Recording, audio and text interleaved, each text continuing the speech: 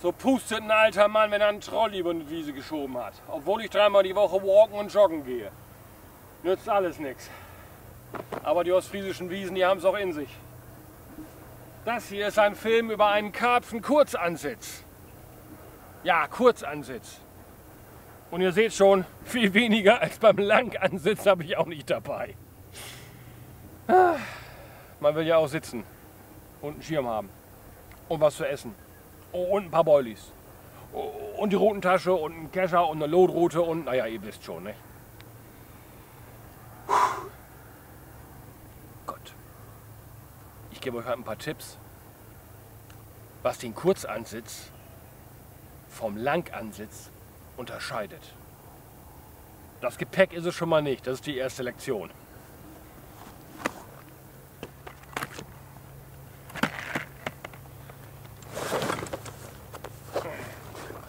Aber hier habe ich schon gespart an Gepäck.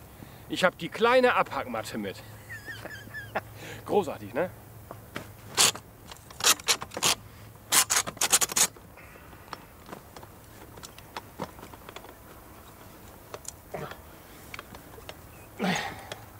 Feuerwehr.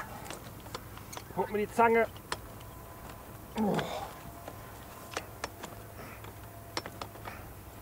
Ja. Kurzansitz scheitert daran.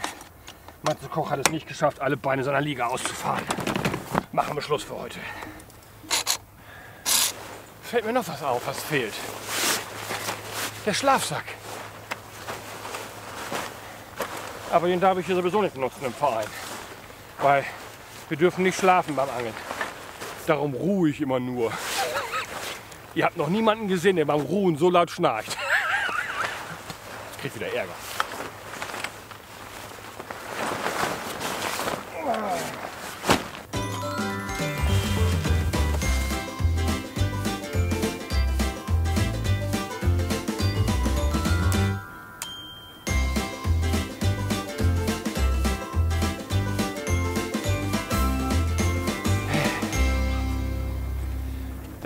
Jetzt irgendwie an die Bundeswehr. Da hatte ich mein G3 als schnellster der Kompanie zusammengebaut und habe trotzdem den Anschiss meines Lebens vom Leutnant bekommen. Warum? Weil ich so schnell fertig war, dass ich beim Aufstehen, wir mussten das im Liegen zusammenbauen, ausgerutscht bin und mich beim, ab, beim Aufstehen mit dem Gewehrlauf abgestützt habe. Und der Gewehrlauf sah dann so aus. Koch, sind Sie wahnsinnig! Wenn Sie damit einen Schuss abgeben, fliegt Ihnen das Ding um die Ohren! Jawohl, Herr Leutnant. Ah. Noch nie verliebt mit der Route abgestürzt haben, während ich die aufgebaut habe.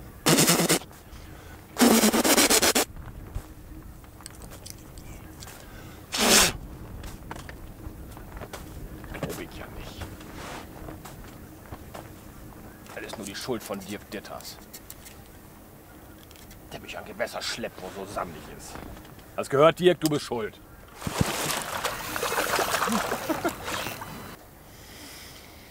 Ach ja. Die Bollis, die Bollis sind auch nicht mehr die jüngsten. Ach, Mann.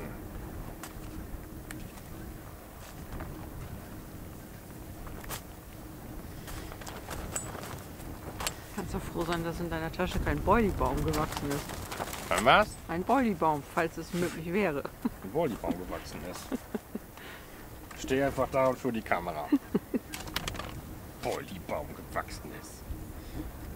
Ja, mein Zahnarzt, der fragt mich immer, Herr Koch, was sind das für komische harte Stücke zwischen Ihren Zähnen? Das kommt von den alten Boilies, die ich immer von den Haken lutsche. Ah. Bist du raus, dann wieder nicht.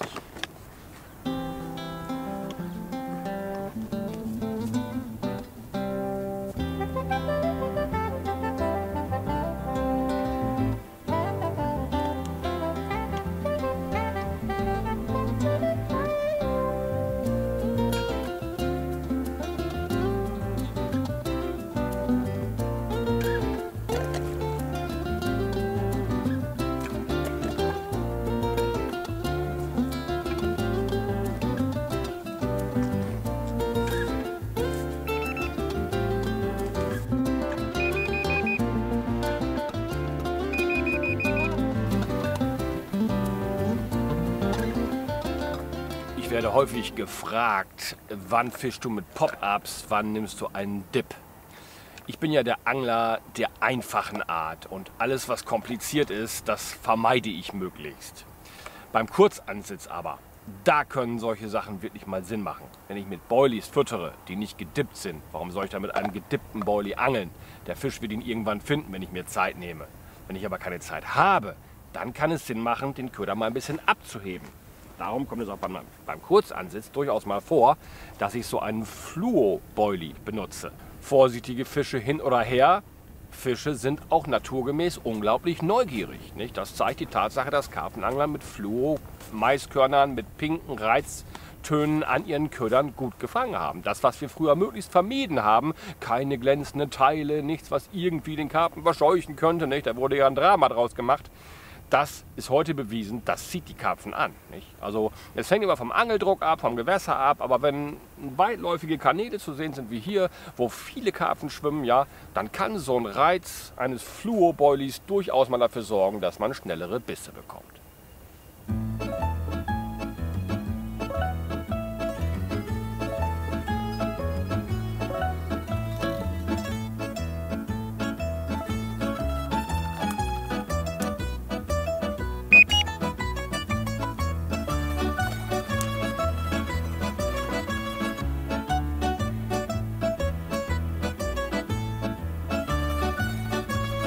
So habe ich es gern. Die Schnur läuft über das Rädchen, dann in den Leitring und dann berührt es keinen Ring mehr bis zur Spitze. So hat man die perfekteste Bissanzeiger, die man sich denken kann. Ne? Wenn man das schön gerade ausrichtet, das Ganze. Ich brauche kein Backlead, weil das fällt hier so steil ab, dass die Schnur dicht an der Kante verläuft. Da muss ich das nicht unbedingt machen, denn ein Backlead, so gut und so wichtig das ist, und ich habe auch hier eins in der Tasche, dass ich, wenn ich mal ein bisschen weiter rauswerfe, sofort eins einhängen kann. Es hat den Nachteil, man lenkt die Schnur halt einmal um. Und wenn man Kurzansitz macht, ja, dann will ich umso mehr wissen, gibt es Weißfischaktivitäten. Und die bekomme ich am allerbesten mit, wenn ich die Schnur direkt auf den Köder ausrichte und wenn ich kein Backlead verwende. Darum werde ich jetzt den Bodenhalter hier aber ein bisschen tiefer setzen. Damit der Verlauf noch ein bisschen gerade auf den Köder ist. Ne?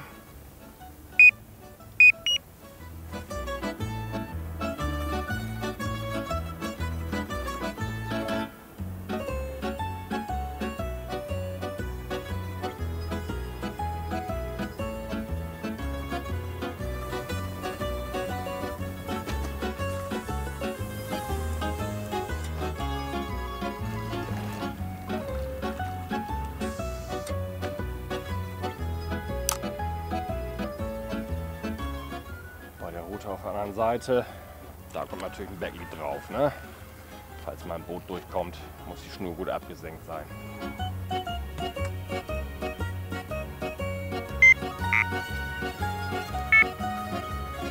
Ich habe kürzlich für eine Reportage mit gegluckten Knoblauchbollies geangelt. Darum sind auch die Gummihandschuhe in meiner Box. Ja, dann mal kurz zu ähm, Pop-Ups und äh, Dips. Ich fische nicht so häufig mit Pop-Ups. Was ich gerne mal mache, ist so ein Schneemann halt, damit sich das eben hinstellt am Grund. Aber im Prinzip fische ich einfach lieber am Grund. Warum? Keine Ahnung. Ist aber eine Angewohnheit. Es gibt viele verkrautete Gewässer. Da macht Pop-Up dann wirklich Sinn.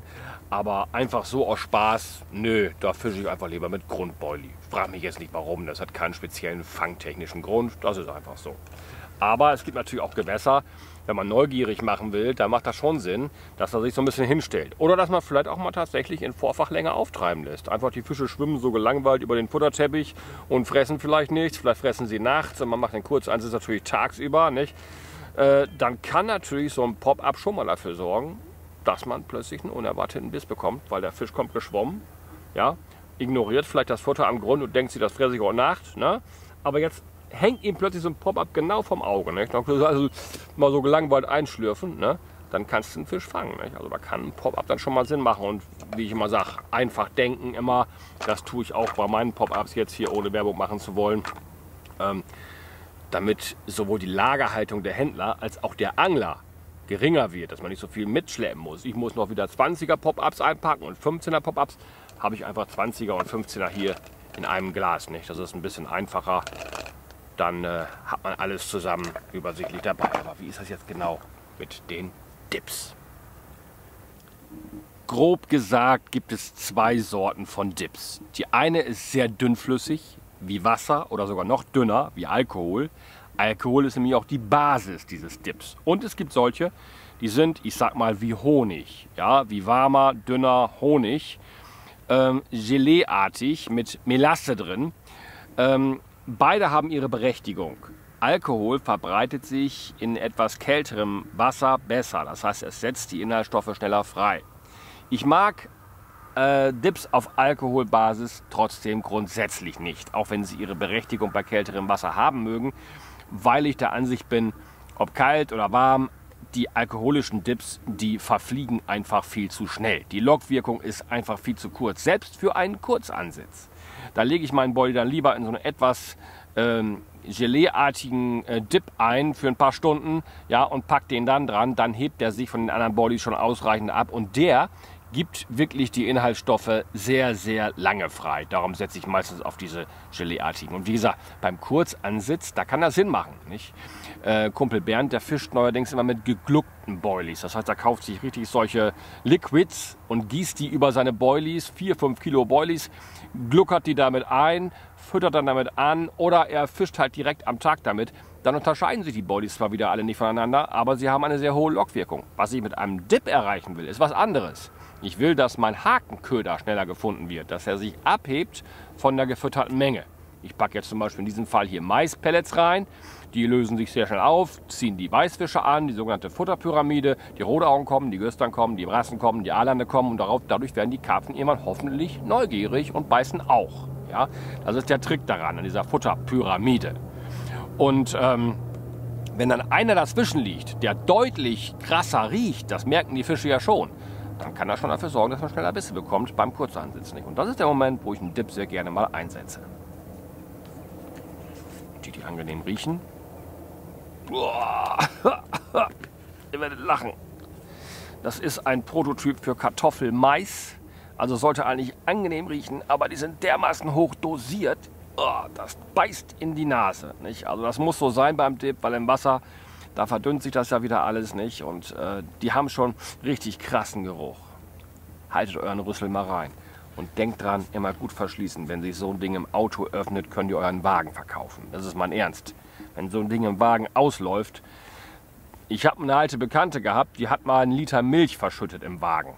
Das war so ein alter VW Jetta. Das ist schon 30 Jahre alt, die Geschichte. Die hat den Wagen am Schluss verkauft. Das ist wirklich kein Witz. Du kriegst den Geruch nicht wieder raus von dieser vergorenen Milch. Mit Dips ist das genauso. Ich hatte das mal mit so, mit so einem Aalkiller in meiner Box. Oh, das stinkt heute noch. So, wo sind die Karpfen? Weißt du ja auch mal was oder habe ich hier alles umsonst hergeschleppt? Hm?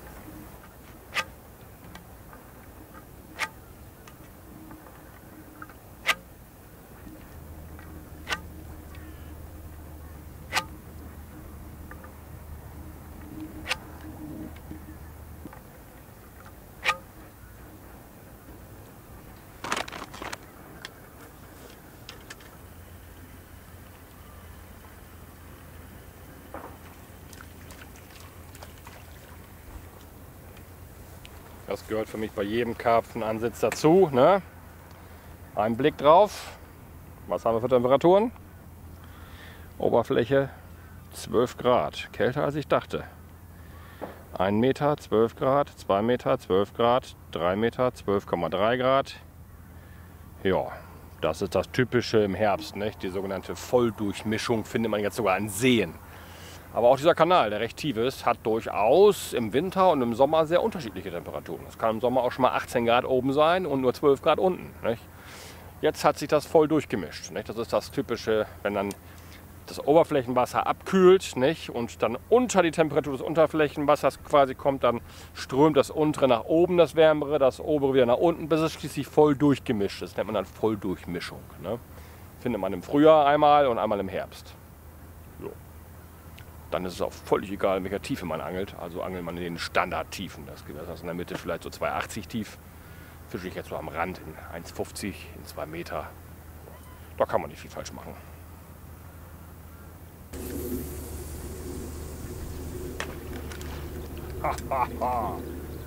ich bin der Held. auf Anhieb getroffen.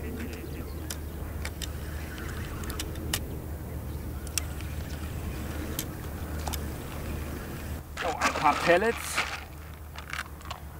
in meine Bombe hier. Und wenn man jetzt so ein bisschen streuen will, ja, ich habe die Schnur jetzt eingeklippt, damit ich den Punkt genau wieder treffe, dann brauche ich nicht jedes Mal wieder neu einklippen, wenn ich streue, sondern ich gehe mal einen Meter zurück, ich gehe mal einen Meter vor, ja, oder werfe mal ein bisschen weiter nach rechts oder links, nicht?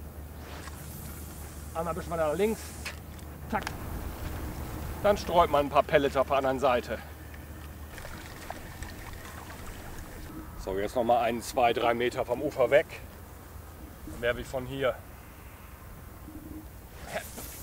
Jo, perfekt.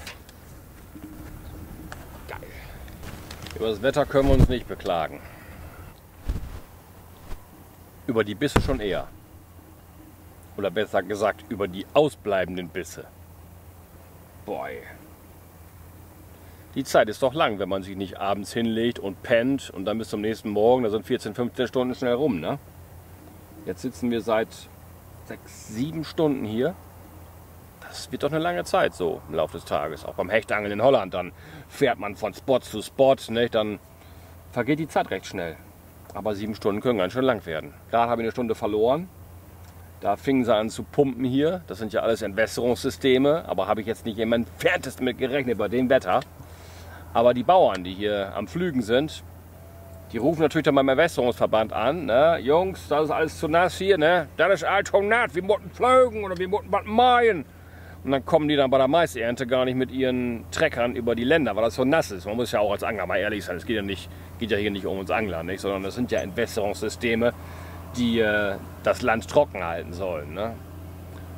Ja, so ist das. Und da haben sie dann gepumpt wie die Blöden. Und da bleibt dann kein Blei liegen. Ne? Nicht mal 150 Gramm mit Noppen, keine Chance, das wird so rumgedrückt.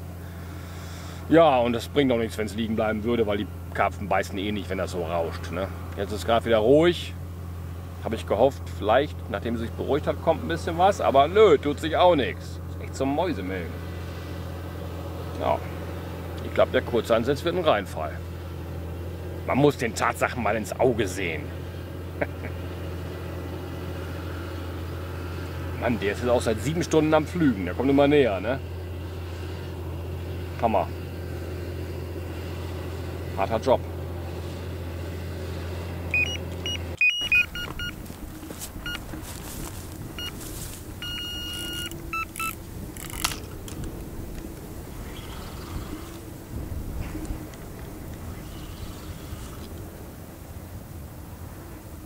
Das gibt's ja nicht.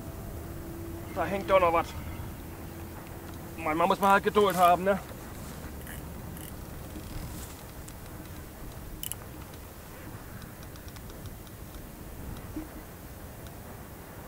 Kann ich ja nicht glauben. Eindeutig ein kleinerer Fisch, weil er sehr schnell abzieht und so bub, bub, bub, bub macht. Das sind diese schönen kleinen, schlanken Schuppis, die es hier sehr viel gibt. Die habe ich auch spekuliert muss nicht immer große Fische fangen, aber das ist echt geil, dass jetzt noch einer gebissen hat. Wenn jetzt nichts mehr schief geht, ist der Tag gerettet. Wenn noch was schief geht, dann habe ich einen entspannten Tag gehabt. Aufregend tue ich mich nicht mehr.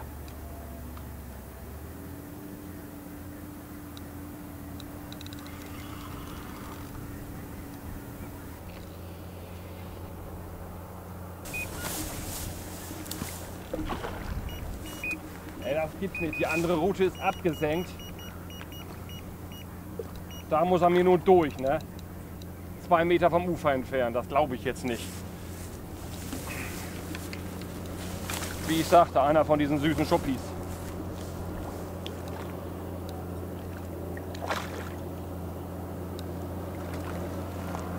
Schön. Ah, schön hell, ne? Mhm.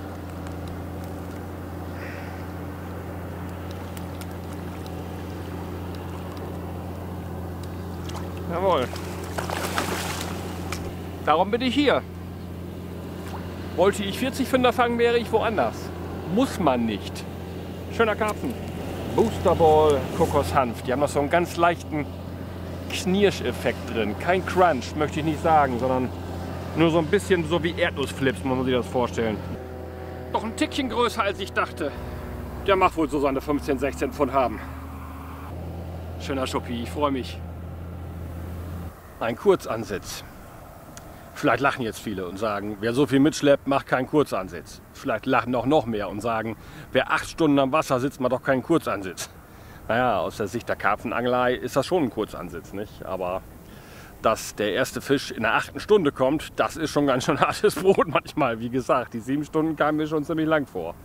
Und jetzt habe ich gute Hoffnung, dass vielleicht noch einer kommt. Diese Größe von Schuppenkarpfen hier, die es hier in Unmengen gibt, die bewegen sich meist auch in so kleinen Trupps. Ich habe mich wirklich beeilt jetzt, das Ding neu zu bestücken und wieder rüber zu pfeffern. Denn äh, oft ist es auch so, dass eine Uferseite besser ist. Das ist so eine leichte Außenkurve da. Und da habe ich, äh, ich habe hier erst ein oder zweimal auf Karpfen geangelt. Da habe ich beim letzten Mal auch alle drüben gefangen. Ich hatte nur eine Route drüben liegen. War vielleicht auch ein Fehler, nicht? Man macht doch immer wieder Fehler, nicht? Ja, ich auch. Oder ich sogar die meisten. Ja, jetzt gucke ich mal, vielleicht tut sich ja noch was. Auf jeden Fall habt ihr schon mal gesehen, so ein Kurzeinsatz kann auch mal unglaublich entspannend sein. Der Tag, der war für mich herrlich. Wenn ich nicht im Büro sitzen muss, viele denken ja, ich lebe vom Angeln. Ne? Das Quatsch ist das nicht. Ich lebe vom Büro, ich lebe vom Schreiben, vom Texten, von Fotomachen, von äh, Katalogtexten schreiben, von Filme schneiden. Das ist das, was 80 bis 85 Prozent der Zeit in Anspruch nimmt. Und wenn ich angeln gehe, das ist Urlaub. Nicht? Dann mache ich meinen Film, das ist für mich herrlich. Klar, moderieren muss ich da auch. Nicht? Und dann ist Moni eher die, die arbeitet, ne? die, der hinter der Kamera die Arbeit leistet. Aber ich schließe mich da Rudi Carell an. Ne? Und dann sagt er immer, die Wochen davor, ne? damit verdiene ich mein Geld. Die Show, die ist Urlaub. Das geht mir ähnlich. Nicht? Das Angeln ist Urlaub. Ja, und das war wirklich Urlaub. Weil wenn ich nach Holland fahre, wie schon gesagt, da ist zwar die Abwechslung da und der, der, Tag vergeht schneller, aber das ist nicht so ein entspannender Urlaub wie jetzt. Einfach mal auf der Liege sitzen, die Gegend genießen. Herrlich. Soll ich viel öfter machen. Weil ich nämlich die Nächte auf der Liege, die stecke ich nicht mehr so gut weg. Echt nicht, kein Witz. Da merke ich immer drei Tage lang meinen Rücken. Und kommt mir jetzt nicht, das liegt an der Liege. Ich habe eine gute Liege. Die weichen Dinger sind auch Mist, das Ding ist bretthart. Ja, jetzt laber ich und laber ich. Da haben wir Glück und mitten ins Gelaber kommt ein Karpfen, damit ich endlich aufhöre zu labern. Die Zusammenfassung für euch. Was macht für mich einen Kurzansitz aus? Dass ich tagsüber angel, nicht übernachte, das ist für mich ein Kurzansitz. Äh, wie gehe ich an die Fische ran? Ich kontrolliere häufig die Köder. Ich bin nicht so wie beim Nachtangeln, dass ich also da einfach das Ding ablege und dann acht Stunden drin lasse, sondern wenn überhaupt nichts beißt, versetze ich mal ein Stückchen, fütter mal ein paar Maispellets nach. Maispellets erzeugen die Futterpyramide. Ich dippe mal einen Boilie, damit man den abhebt von den anderen Boilies, der da liegt. Ich nehme auch mal einen Pop-up und die lasse ich auch dann schon mal in ganzer Vorfachlänge auftreiben, was ich normalerweise nie tun würde. Aber wenn die Karpfen, wie gesagt, so hoch über Grund äh, schwimmen, ja, und dann schwimmt ihm so ein Ding mitten vor die Nase, dann kann auch das bei einem Kurzansitz mal ein echter Bonus sein. Es gibt ja das sogenannte Zig-Rig ja, mit so kleinen Schaumstoffteilchen, die wie Insekten aussehen. Die lassen die Engländer, Bernd hat auch seine ersten Erfolge damit erzielt jetzt, äh, in halber Höhe schweben. Das heißt, wenn du vier Meter Wassertiefe hast, dann lassen die die zwei Meter auftreiben und dann treibt da irgend so ein Insekt quasi mitten auf halber Höhe. Und das ist deswegen, weil die Karpfen tagsüber irgendwo im Mittelwasser, je nach Wetterlage, auch mal ganz oben patrouillieren und da schlürfen die das dann so im Vorbeigehen ein. Und so ist das dann mit dem Pop-Up, nicht? Während ich nachts nicht ganz so gerne Pop-Ups verwenden würde. Also hier beim Kurzeinsitz, da hat das alles seine Berechtigung. Auch der Fluoboilie, man kann alles machen, man hat eine Menge Möglichkeiten. In diesem Sinne, macht's gut. Bis zum nächsten Mal. Vielleicht fühle ich mich dann mal wieder fit genug, mal wieder einen Zweitageseinsatz zu machen. Aber erstmal bin ich froh, ich tagsüber mal so richtig relaxen konnte.